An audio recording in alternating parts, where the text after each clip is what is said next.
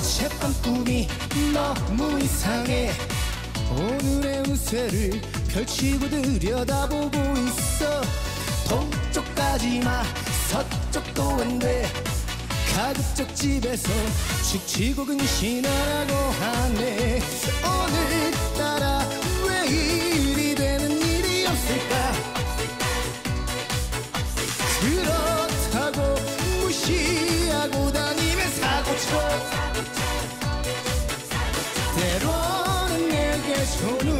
새에 무얼 할까 고민하고 아무것도 되는 일 없어도 하루는 기분 좋아.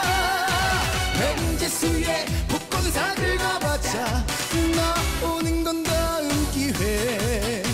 어젯밤 꿈이 너무 이상해. 오늘의 운세를 펼치고 들여다보고 있어. 동쪽 까지나 서쪽도 안 돼 이렇게 하루는 무사히 넘어가고 있는데.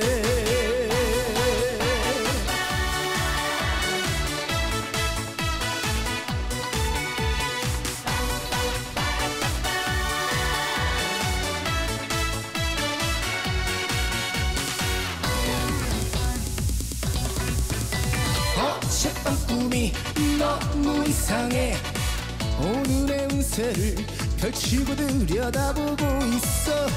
동쪽까지나 서쪽도 안돼 가급적 집에서 축치고 근신하라고 하네.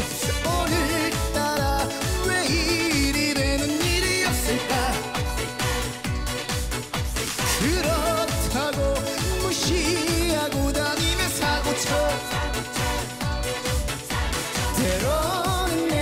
내게 좋은 새에 무얼 할까 고민하고 아무것도 되는 일 없어도 하루는 기분 좋아.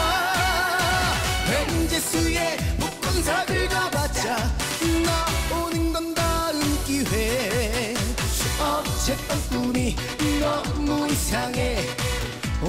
운세를 펼치고 들여다보고 있어 동쪽까지나 서쪽도 안돼